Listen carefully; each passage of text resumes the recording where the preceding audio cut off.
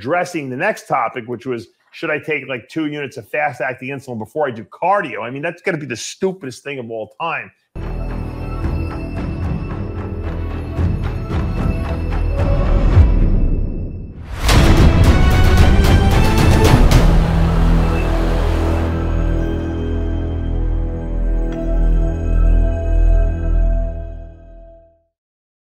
I created Species Nutrition with one mission in mind to provide bodybuilders and serious athletes with no nonsense supplements that work. I put my name and reputation on every bottle of Species Nutrition products. If you want to be your absolute best, join the evolution.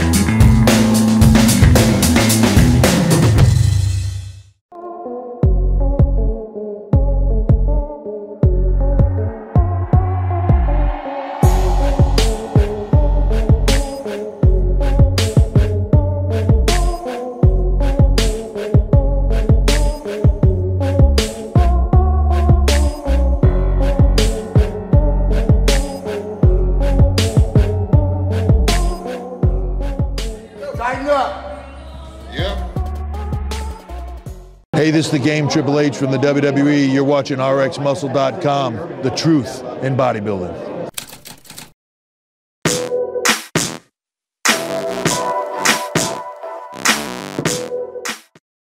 RX Television, RxMuscle.com. This is Ask Dave, better known as hashtag Ask Dave, your 30 minute question and answer show with Dave Palumbo. Whatever is on your mind, be it bodybuilding, non bodybuilding, it is all on the table. We're going to jump right into the questions. The first two questions on the show from the Dave Palumbo Experience app.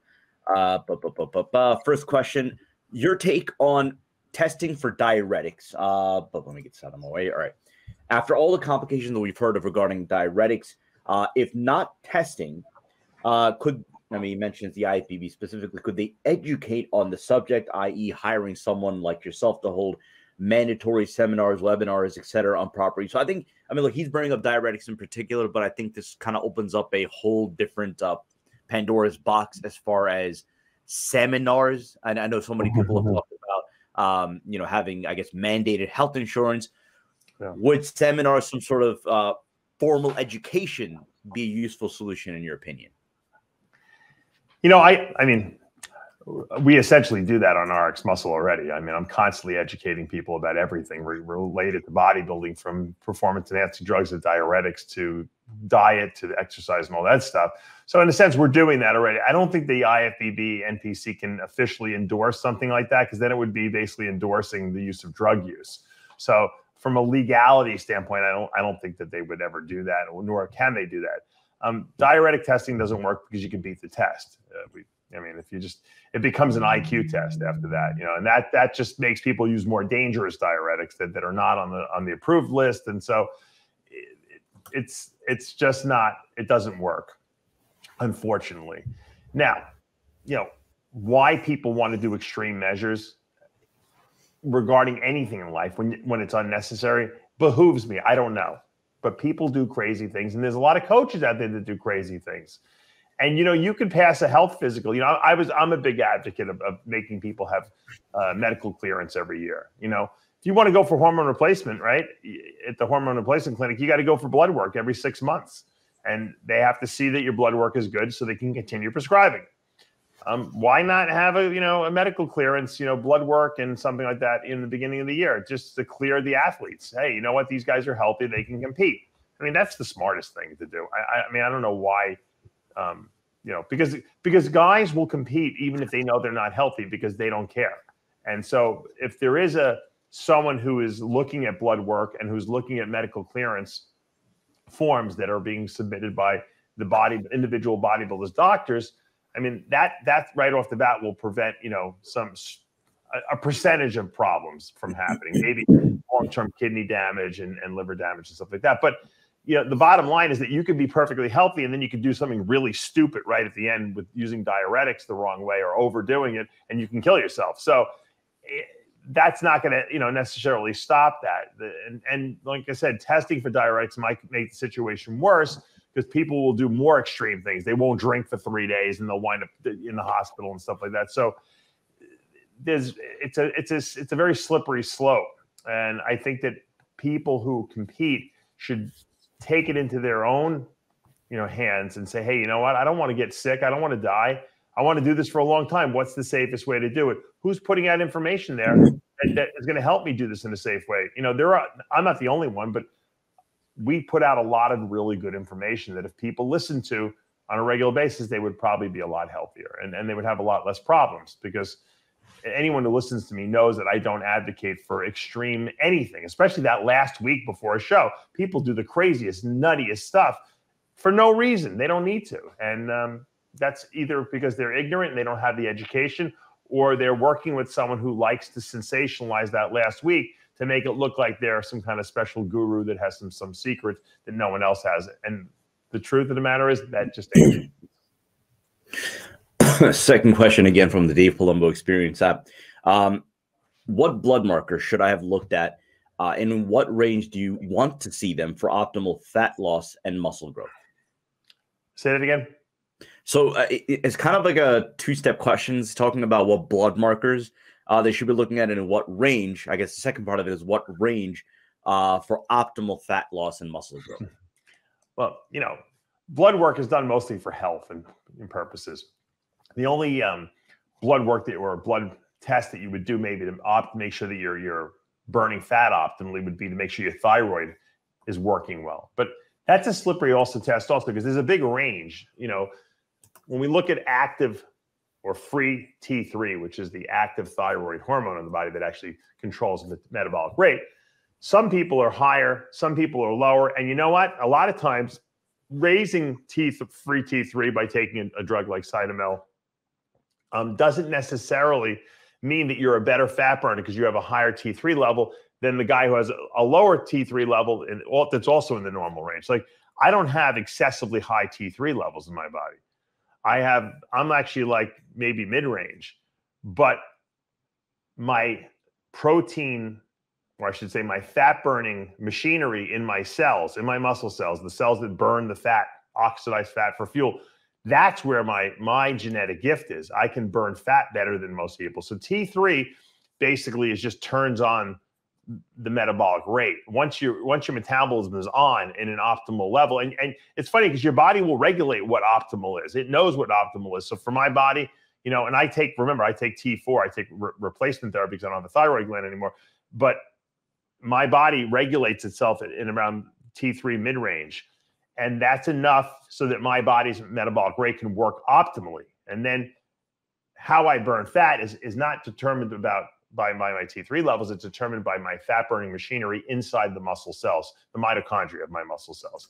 And mine just happen to burn fat at, at a much higher rate than most people's. And that's probably partially genetic, partially maybe from, you know, five years of long distance running. I don't know that, that they've shown some evidence to show that your mitochondria can change um, when subjected to severe oxygen debt and and you know extreme conditions.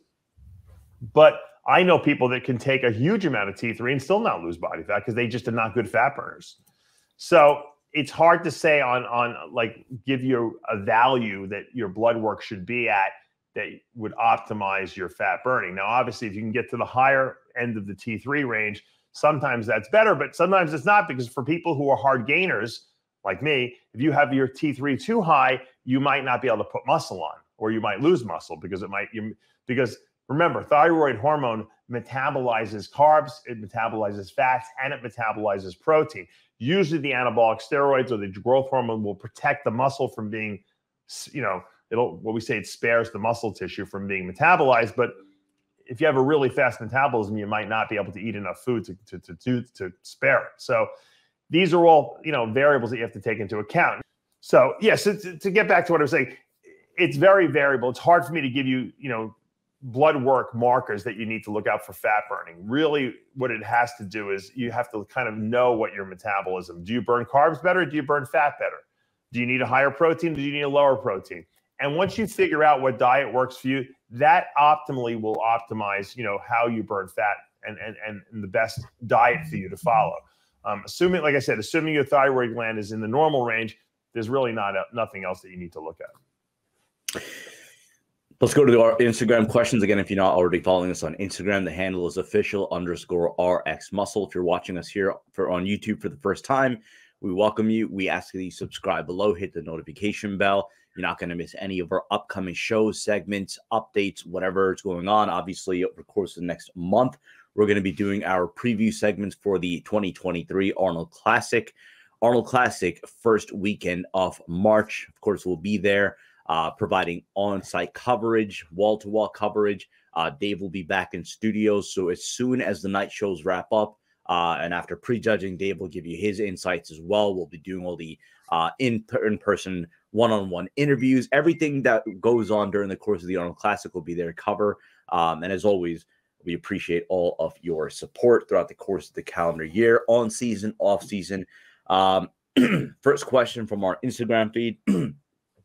some sorry apologies. Have to bear with me. I've been a little under the weather. Uh, Dave, painful test, 400 shots and stiff syringes.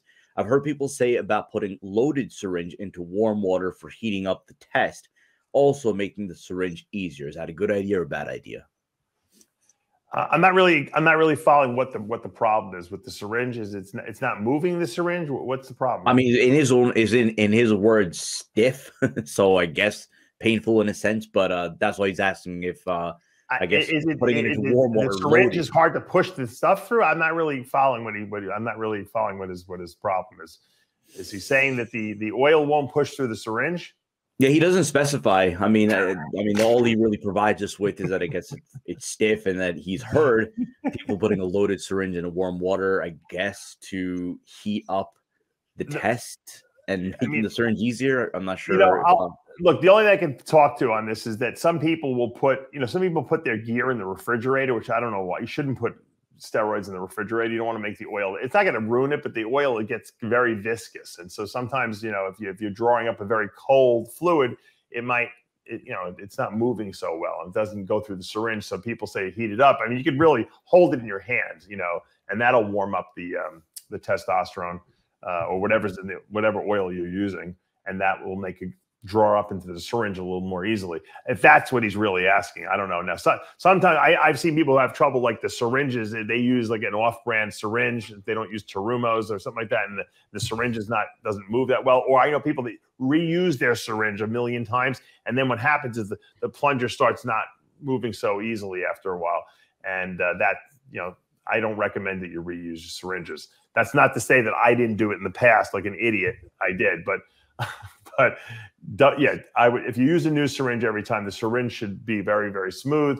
Um, if you don't keep your gear in an area where it gets too cold, the oil should should be very free flowing. If it's not, then you, you can hold it, like I said, hold it in your hand for for 10, 5, 10 minutes and it'll warm up. You don't need to put it in hot water or anything like that, like that. Because here's the problem. I, I've seen guys, I know it sounds insane. I've seen guys put like their gear in boiling hot water and thinking they were going to help because they thought maybe it wasn't dissolving properly. And then the, the idiots drew up this, the, the oil before it cooled and then they injected it into themselves, and the oil is like scalding hot. And now it's inside their skin and they burn. It's it's it's a disaster waiting to have. So don't use super hot. Don't put it in the microwave. Hold it in your hand if you want to warm up the, the oil a little bit. That that's my best uh, suggestion to you. Uh, topical question here, and I'm glad that they brought it up. Uh, full disclosure, we're still working on assembling a cast for a new episode of Iron Debate. So, what we're going to be debating is something that Lee Priest uh, mentioned in last week's Iron Rage. Um, essentially, that there really is no, in his own words, that we should get rid of the 212 division. Um, that the best of the 212 have shown that they're capable of standing in with the open class with the big boys, and that's no more evident than what we saw at this past year's Olympia. Um, so the question is from Gunny P Fitness. Your thoughts on the top three of the Olympia, all five seven and below, and just I guess to mention two of those three former two twelve athletes. So they want me to comment on what what I think about them. Yeah. Well, what do you think about? I guess the top three being under five foot seven. Because remember, keep in mind, I also, I also add this qualifier too, Dave. Remember, yeah we did Iron Debate and leading up to the Olympia, so much of the commentary, or I guess the mm. um, detractors for Derek Lunsford was saying that that he, he, would get lost in the shuffle because of his height, that he yeah. would be too short and that would be exposed. Obviously, it turned out not to be true, but that was one of the elements that were being discussed. So I guess that's you know, the question here, I guess, your reaction to two or the to rather the top three all being mm. under the height of five foot seven. Right. Here's the issue. First of all, the judges can only judge what's up there on, on the stage, right? And bodybuilding goes in cycles. All right. For some reason, the big guys are not doing that well. okay. Iain Valliere was off. Uh, Samson Dauda looked great, but he could have been tighter. You know, Andrew Jack was great, but he could have been a little tighter. So the big guy and Ramy was off, right? So the big guys always have an advantage. Let's face it, because bigger with the same you know structure and and and muscle mass always looks more impressive. But having said that, if the guys are not in shape or they're not at their best, you know, you got to vote for what's up there. And, and lately, it's been the short guys have been coming in good, and it's been the guys coming off that 212 division who seem to come in shredded out of their mind. Derek, you know, Lunsford, uh, Bonac came from the 212. Uh, Hadi Choopan came from the 212. I wish we could have seen Flex Lewis on stage. He would, you know, he would have been a great guy as well in, in the open class switching over. And Shaun Clarida, he's a short guy. He doesn't, he doesn't even, he's not even 200 pounds. The guy's like 185 pounds, maybe soaking wet. But these guys are coming in shredded, and that's what's winning shows. And I say it all the time conditioning wins shows. They're not going to give away a Mr. Olympia title to someone who's not in shape. It's not going to happen. So right now, it's the shorter guys. Next year, this year, whatever, it could be the taller guys. Maybe Andrew Jack shows up at the Olympia out of his out of his mind, shrink wrap, and wins that show, or or Samson down, and then we'll be saying, "Oh, all the big guys are winning now." You know, so it's really you never know who's going to show up. You know, who's ever the best guys of the time are those are the guys that do well. And then people will be saying, "Oh, we need to keep the 212 class because look at all these big guys we got, and the short guys can't beat these big guys."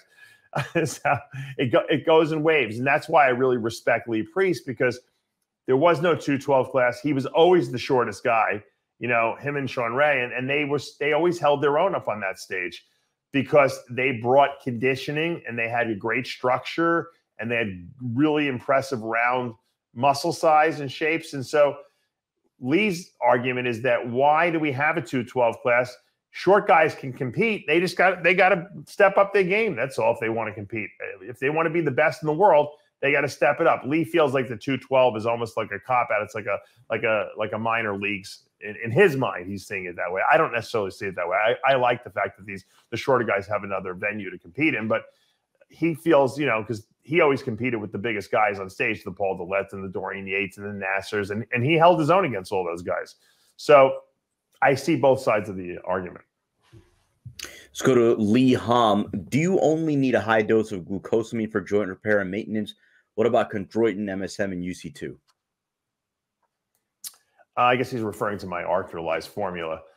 You know, when you work out, okay, and you break down muscle tissue, okay, and then you eat protein, lean source of protein, right? To, to repair it, chicken, fish, turkey, whatever, uh, meat.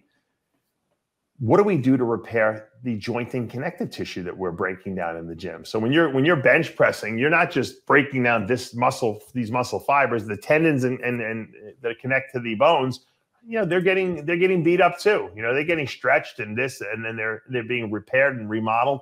But we don't eat cartilage and we don't eat ligaments and tendons in our diet. We throw that stuff in the garbage, right? Because it doesn't taste good. What do we give our body for raw materials to repair those? And very, and for most people, it's very little. And I think that's why joints and connective tissue break down over time. If you take in a, a, a high potency joint replacement product like my Arthrolyze product that has four grams of glucosamine and four grams of MSM, along with boron and, and, and chondroitin and uh, UC2 collagen, what you're doing is you're giving your you're giving your body what it needs on a regular basis to repair not only the muscle but to repair the the, the connective tissue aspect of of the muscle. And whether you're injured or not you should be taking this on a regular basis because you're not taking it in in your diet.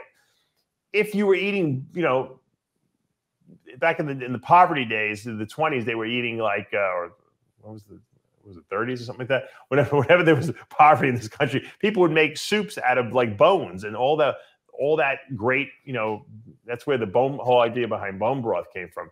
all the cartilage that would melt into the soups that people would be eating would be helping their joint and connective tissue.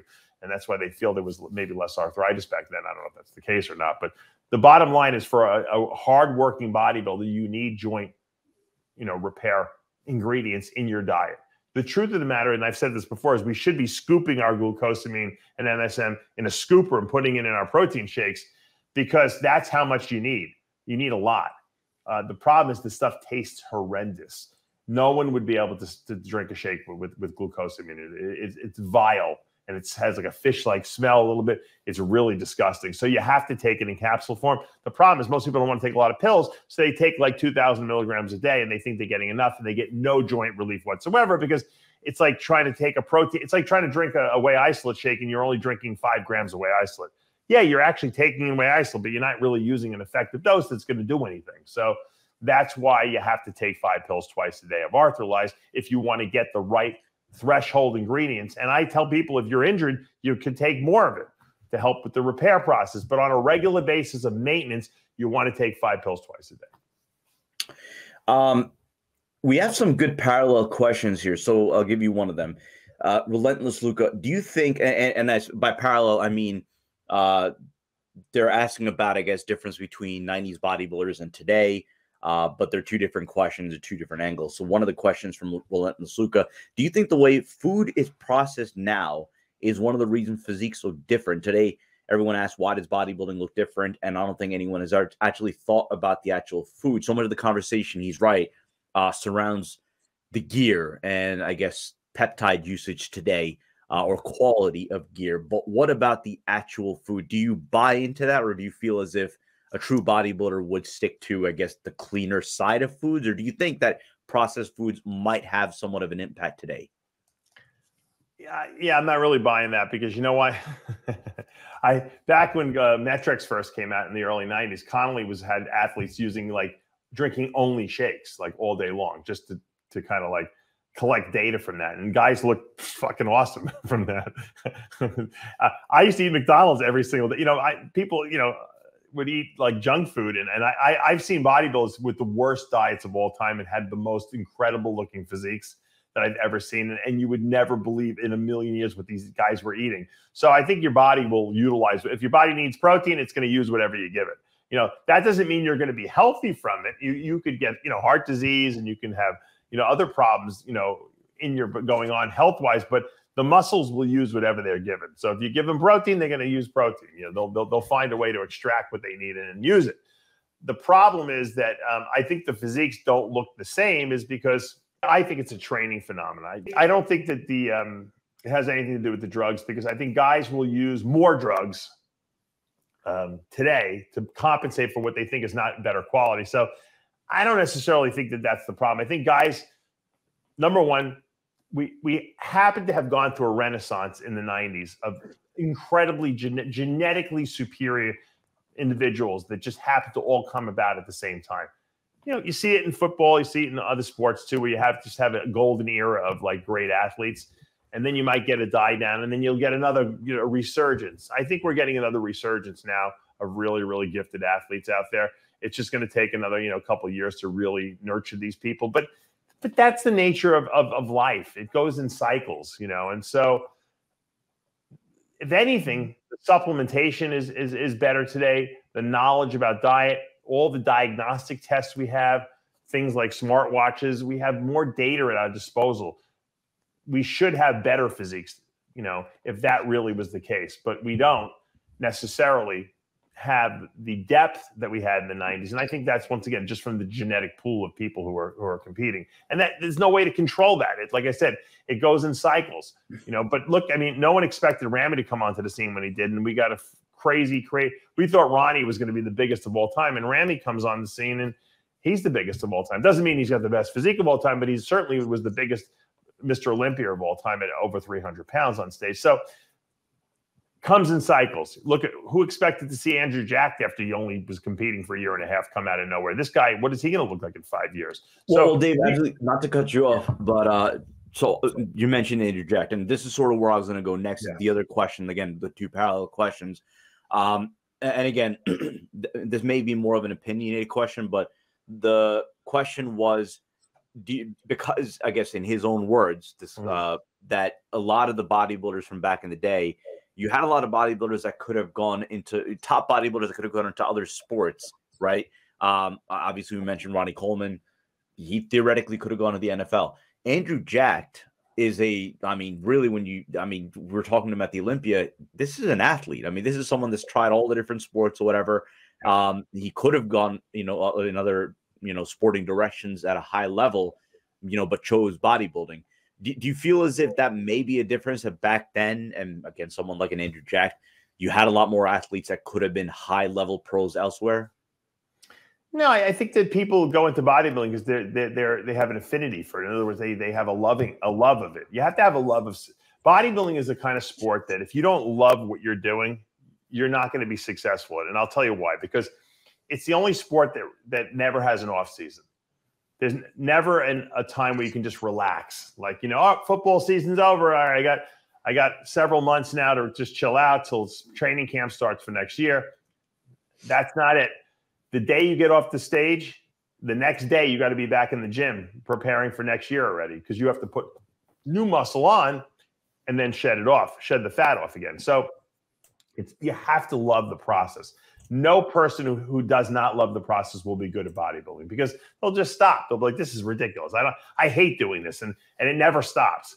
So you have to love the process. So it takes a special person. So you might get a guy who could be an awesome football player like Ronnie. I'm sure Ronnie could have been an NFL football player, but he just didn't want to do it because he loved bodybuilding so much, so that he was drawn in that direction. And sure, if if we took every athlete in this country who's in football and baseball and this and that, and we we took the best of the best, we probably would have an Olympian lineup that would make every other year look pathetic because we have some really gifted athletes who I, I don't blame them. They're making millions and millions of dollars, you know, playing baseball and football and, and all and basketball and stuff like that. Why should they go into bodybuilding? You know, I, I don't blame them for three seconds. And if the if the rewards for bodybuilding were as high as some of these other sports, you probably would see a much much um, greater gene pool in our sport, and probably the levels of physique are, are we, we would see would be mind boggling. I really believe that. Uh, Angelo versus Angelo recently started to cycle back to basics after a long layoff due to injuries. Started 500 mg test, 250 mg DECA with potential to scale up if needed. What dosage would you recommend after a two year layoff from cycles to start? And what would you taper up to, keeping in mind this is my first cycle back in a couple of years after injuries? Yeah, you know, it, it really depends on what the person's goals are. If you want to get back on stage, you, you have to ramp up pretty pretty quickly up to your effective dosages. So if we determine, and this person agrees with the fact that thousand milligrams of testosterone is is is what's the maximum, you know, the the right effective dose to put muscle on, and you know, four or five hundred milligrams of, of Deca a week or Equipoise a week is going to help put muscle on. Then I would ramp up to that within the first three weeks and start growing, start putting that muscle back on. I mean, it's it's silly to go on a hormone replacement dose of 250 milligrams a week or even 500 milligrams a week when you know, all right, you know what, you know, you're probably, you know, you want to compete at a high level. You, you got to get that muscle and you got to add some new muscle. So um, when you first come back from a long layoff, you probably shouldn't take any drugs. You should just train and eat, get back whatever you can naturally once you kind of hit a plateau, then introduce the anabolics and, and do your cycle and start an effective cycle. You know, if, if you always liked 750 tests a week, then do that, you know.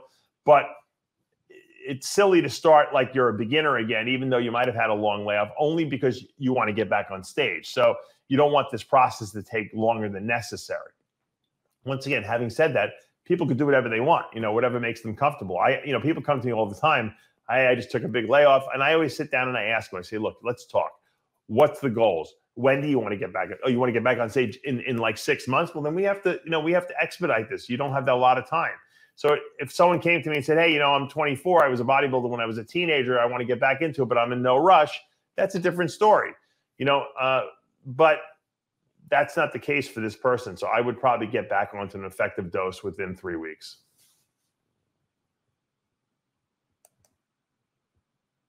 Let's go to so we have two uh, insulin related questions. One from uh, Ivan Benines and one from Ivan Bodybuilding.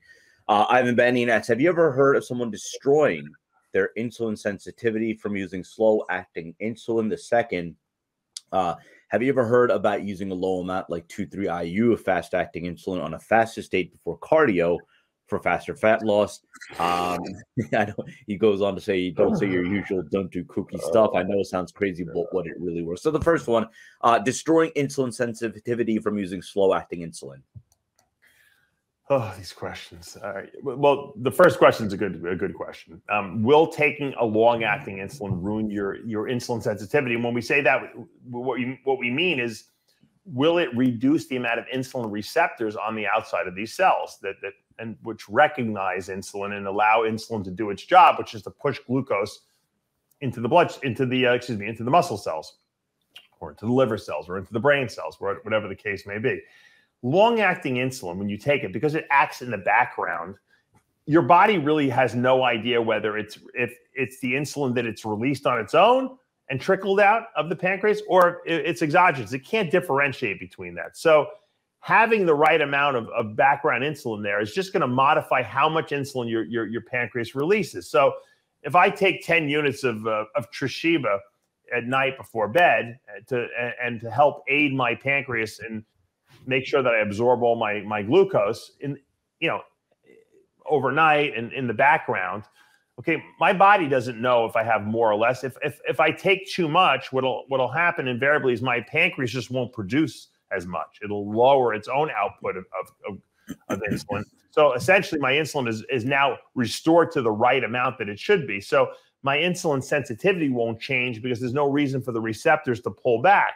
Now, having said that, if you start banging in large amounts of fast acting insulin every single meal and you overdo it to the point where you have to actually eat more carbs because your blood sugar is dropping too low, that could cause a decrease in in insulin receptors because your body might say, Whoa, we got too much insulin here. We're going to really drop blood sugar too fast. That's not good. Uh, most people don't do that. Most people are not banging insulin at every single meal, excessive amounts. So, taking exogenous insulin really shouldn't mess up insulin sensitivity. And that's why I, I think it's a big mistake when these doctors try to put people on, like, you know, you know, metformin and all these other oral medications to help with blood sugar control when all they can do is just put them on a long acting insulin and that solves 90% of the problems. And like I said, there's really no side effects of a, long acting insulin because it doesn't drop your blood sugar enough. Now, addressing the next topic, which was should I take like two units of fast acting insulin before I do cardio? I mean, that's going to be the stupidest thing of all time. And I'm not saying the person who's asking it is stupid because there's no such thing as a stupid question. I'm saying anyone who does it is, is very stupid because here you are, you want to get on, on, on a bike, right? And you want to burn stored body fats. You want to mobilize fat, okay? You're doing steady state, you know, not high intensity cardio because high intensity cardio burns carbs, right? We want to we want to do like steady state, you know, cardio. And the way the steady state cardio is fueled is by this, you know, stored body fat getting mobilized and, and, and oxidized into energy why dropping your blood sugar while you before you're doing this would help in any capacity mobilizing fat from the fat cells i have no idea all it's going to do is make you feel terrible and have low blood sugar especially if you're getting on a bike sometimes when you first start biking too you got to remember the you know before your body starts mobilizing fat the first like you know couple minutes, you might be using some glucose for fuel initially until your body says, "Oh, wait a second, this is not really that fast. Let's start using, let's start oxidizing some fat." So the last thing you want to do is get low blood sugar while you're doing cardio. You'll feel terrible, and you'll have to get off the bike or off the treadmill or whatever you're doing, and you're gonna have to eat something. So all you can do is screw yourself up. It's not going to help you burn fat better.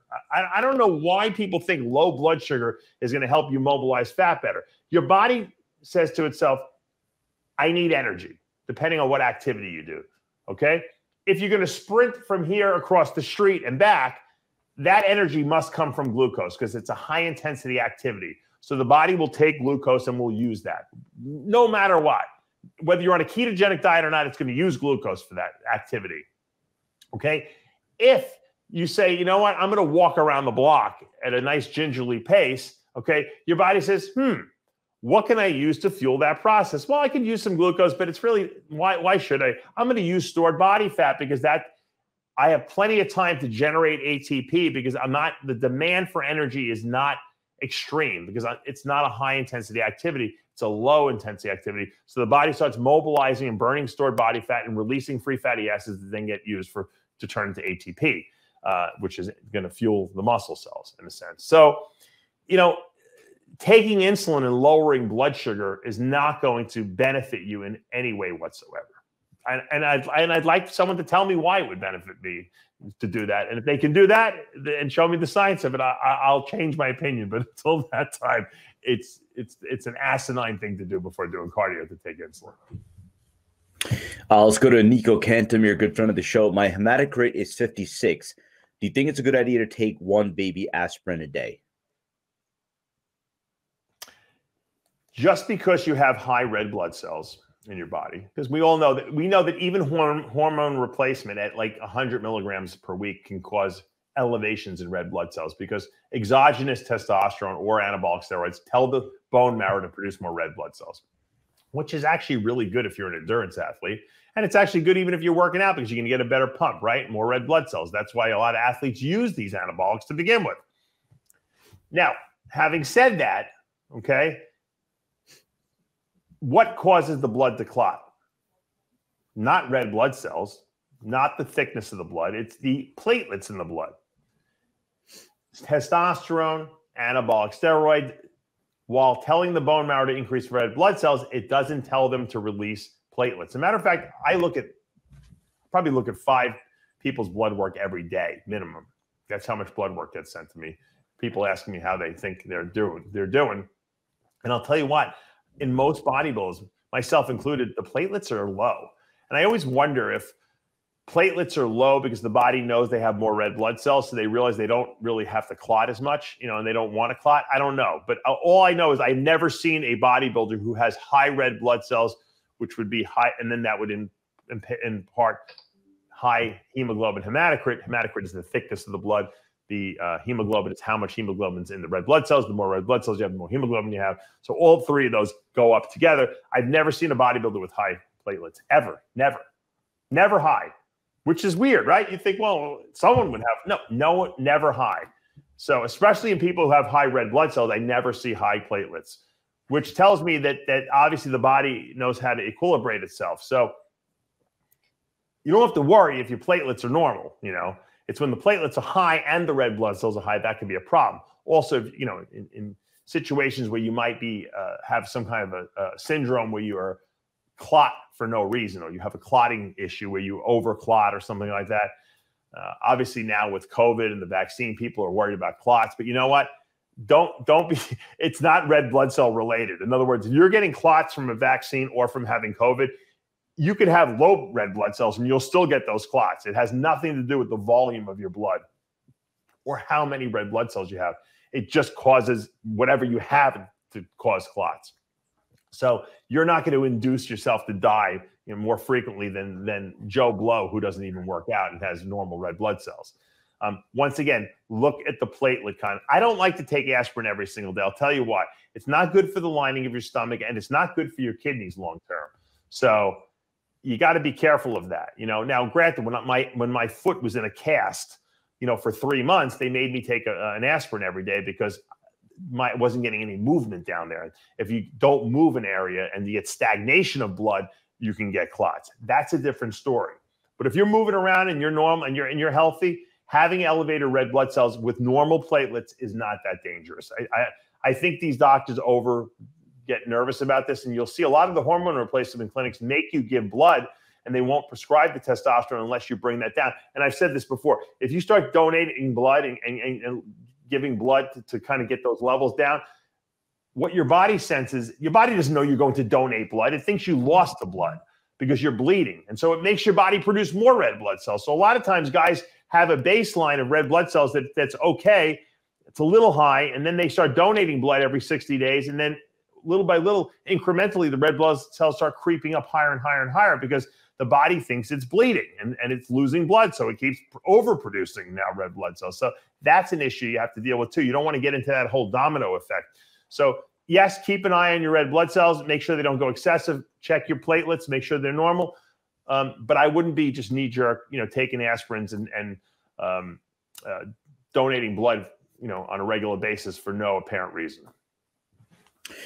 We'll take a couple more questions. We got a lot of questions this week, so we absolutely appreciate all of your input, your contributions. Um, I mean, again, this show is literally uh, for you. So what we'll do is uh, after this show, I'll, I'll, go through some of the unanswered questions. I'll send Dave, um, you know, the remainder questions, and Dave will select the best ones, and we'll do individual videos on those. And then uh, for those that don't get asked, uh, or rather, don't that Dave doesn't make a video on, we could save them for next week's episode as well. But again, we appreciate all of your contributions to this show.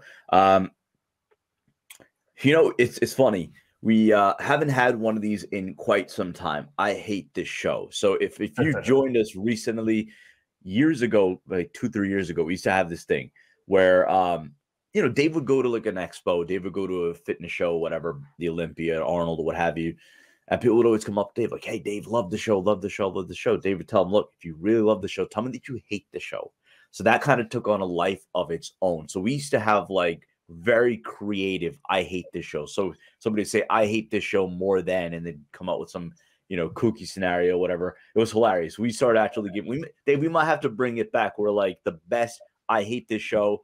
Uh, gets whatever free stimuli or something like that. But uh, it was a lot of fun. You don't live in another country. yeah, yeah, that that too. But uh, nonetheless, good to see one of those again from uh, from Bitcoin Will. Uh, hate the show more than Big Ramy hates his Mr. Olympia placing in 2022. The question: Best HGH dosages and compounds to stack it for fat loss. How much GH is acceptable before bringing insulin into the equation? It's a loaded question because eh, you know, unfortunately, everyone's body responds differently to growth hormone, and some people could take a lot of it and they don't really have a blood sugar issue. Some people could take literally like a, a an IU of it and they and they have issues. So it, it's it's hard to you know make a blanket statement like that. I find that you know if you're trying to burn, I never have guys use more than four IU's a day when they're on a contest diet. You know, maybe off season they might maybe I'll I'll inch it up a little higher sometimes, and I don't even think that's necessary. But you know, when you're dieting, you don't want to be holding excessive amounts of fluid all the time because then you're going to look like you're fat when you're really not and you're just a little bloated. So I usually what I tell people is about three I use in the morning when you wake up. You do that daily while you're dieting. It's going to help you lose body fat. It's not going to affect insulin sensitivity. It's not going to make you insulin resistant very much. Not to mention also when you're dieting for some kind of a competition or to lose weight, you're really on a lower carb diet. Even if you don't do a ketogenic diet, you're on a lower carb diet. So your carb intake is not high anyway. So that's not your, your blood sugar levels should probably be pretty normal unless you are a, a, a legitimate diabetic or type 2 diabetic. Uh, what I find is I have a lot of guys and, and, and even some women who take a long acting insulin in the off season when they're eating a lot of food because they just can't they wake up with really high, you know, fasting blood sugars. But when they start dieting for a competition, all of a sudden their blood sugars improve because their carb intake is is lower. So remember, you know, and we never thought about this years ago, and I don't know why it, it never occurred to me. But if you're eating, you know, an exorbitant amount of food in the off season, seven, eight thousand calories a day, some guys have to consume, right? Think about the insulin requirements that your body has to absorb all that food. It's astronomical. So even if you have normal, you know, pancreatic beta pancreatic uh, function, beta cell pancreatic, excuse me, beta, pancreatic beta cell function, you know, it you just might not be able to make enough. That's a lot. You know, every single day you're you're demanding, you know, you know, 600, 700 grams of carbs have to be processed and absorbed sometimes you, you, some people's pancreas don't produce enough insulin to do that. I don't think mine ever did. That's why I responded very well when I took an exogenous insulin because I couldn't absorb all my food. So almost that's why I was the first thing I do when I start working with someone off season, I start having them test their fasting blood sugars in the morning. And if they're running high, we substitute, you know, if we assuming the person's okay with it, we use a fast act, excuse me, a slow acting or what we call basal insulin to help the body absorb all that food to make sure that we're absorbing it. Because a lot of guys don't gain weight because they just, just don't absorb all their all their nutrition that they're eating. So I think that that's going to be something that most bodybuilders will do in the future. And this is something that was never done 10 years ago. Um, actually, you know what? I'm going to throw this one in as well. It's from Sasta Venkatasan. Sorry if I butchered the name. Um, he wants a conclusive answer to this. I've normally elevated estrogen levels in my body. So even if I take 500 mg of test per week, I'm getting gyno. To compensate that, I've been using aromatizers and SERMs uh, throughout my prep. But doing so, I've had a bad sex drive while on cycle. What is a solution for guys like me with elevated estrogen levels when it comes to sex drive? Okay, now here's the issue. Okay, the person is is complaining that they, you know, that they're getting gynecomastia. That's and that's a typical bodybuilding complaint. I don't want to have breast tissue right over here. Um, who does, right? No one wants to have that. So the question becomes, what do you do about it? So what most people do, they take a ton of aromatase inhibitors, right? They take Arimidex. When that doesn't help, they take Nolvadex on top of that to block the estrogen receptors. So now they have no estrogen in their body from blocking aromatase enzyme. Anything that might be floating around is completely blocked with the Nolvadex, right? Because the Nolvadex blocks the estrogen receptor, and they still have gynecomastia. Why? Because it's genetic. It's like taking a woman with big breasts and thinking that you're going to give her an aromatase inhibitor and an estrogen receptor blocker, and you're going to, and her breasts are going to decrease to nothing, and they're going to shrink and shrivel up to a size A, even though they're a D cup right now. It doesn't happen once you have the tissue there and a lot of guys have it just genetically from childhood. They don't even know it's there because they never dieted down to the severity that they do now for bodybuilding. And they see, holy, what is this? This is not fat. This is this is actually breast tissue here. The only way to get rid of that is, is to do surgery and have it removed. That's why I send people to Dr. Blau in White Plains, New York, because he's the best. Okay if you don't take it out, it's never going away. You could take all the aromatase inhibitors and all the estrogen receptor blockers you want. You could inject cortisone into there, which we did back in the day too. It'll shrink it a little bit. It's never going away until you have it taken out. Okay. And when you have it taken out, you, your life will be a lot better. So my advice is save up, go to Dr. Blau, have the gynecomastia taken out, and you never have to worry about it again because what happens is what this person is doing is they're overtaking aromatase inhibitors and, and, and estrogen receptor blockers, and they're eliminating their estrogen in their body. So they'll, but, and that's why they have no sex drive. But they don't understand why they still have gynecomastia because it's not going away. That's what you don't understand. It doesn't matter. It's there. Once it's there, you're not getting rid of it, especially if it's if it's sizable.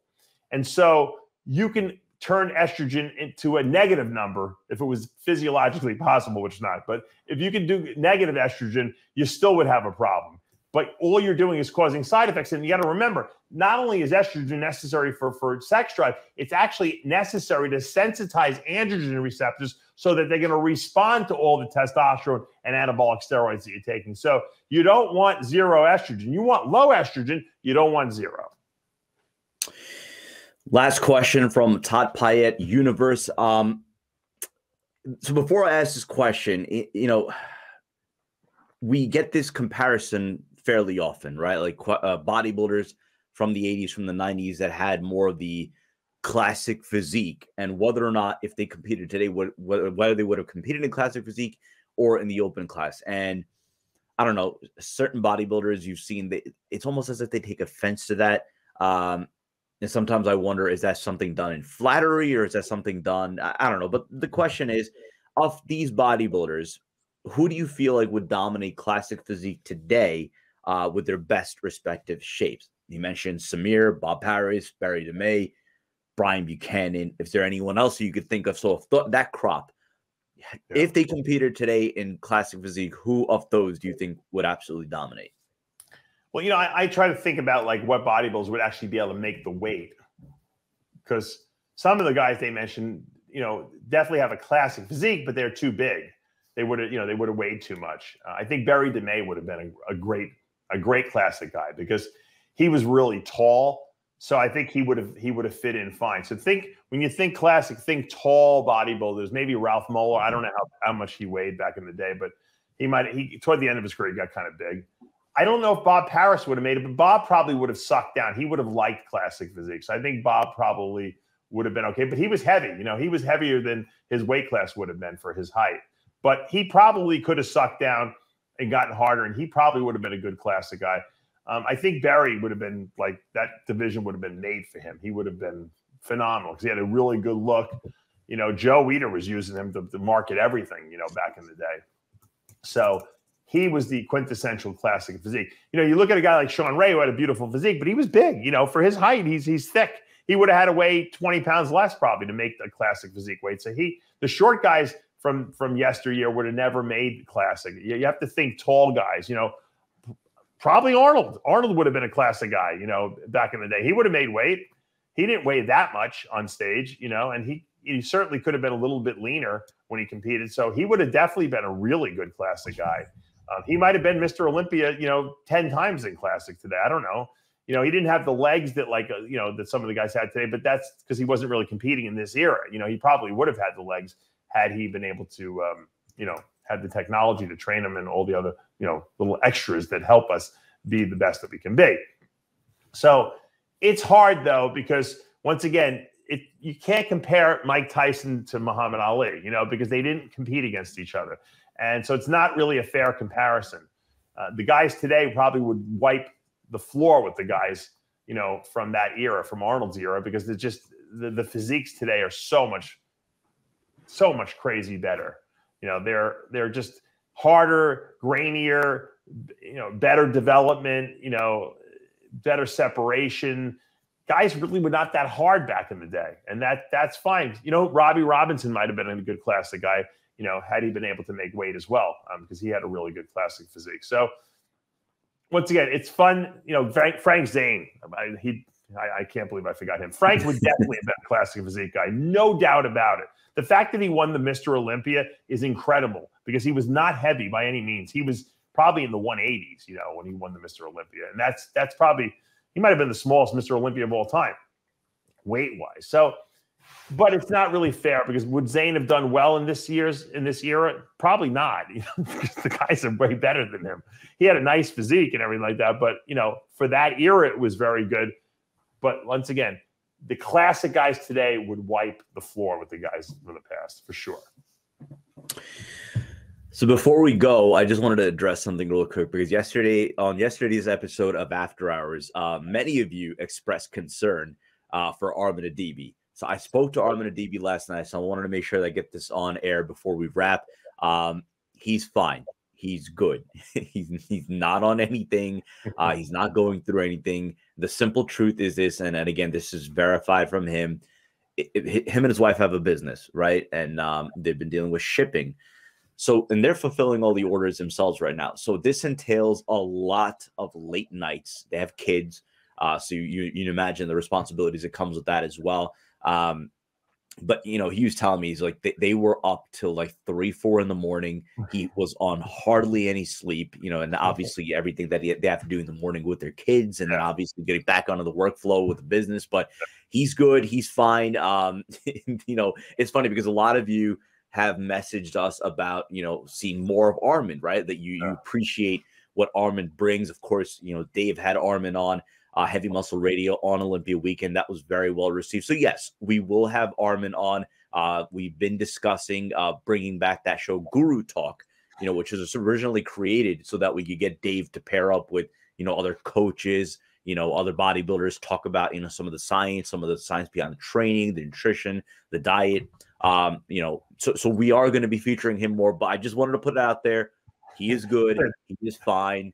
Um, and then, you know, like I said, he told us that he will make sure he gets a full eight hours sleep uh, Monday. I'm laughing. I'm laughing because when we first had my son, and my wife and I were new parents, and we were nervous, and we were up all night, you know, and we were getting like you know two hours of sleep a night. When Sid and I would do Ask Dave, I swear I used to fall asleep while, while we were doing the show.